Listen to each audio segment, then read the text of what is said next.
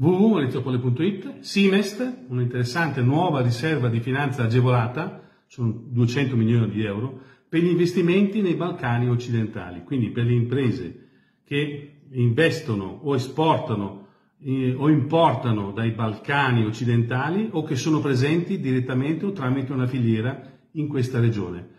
Cosa intende per Balcani occidentali? Serbia, Kosovo, Bosnia, Herzegovina, Albania, Montenegro, Macedonia del Nord.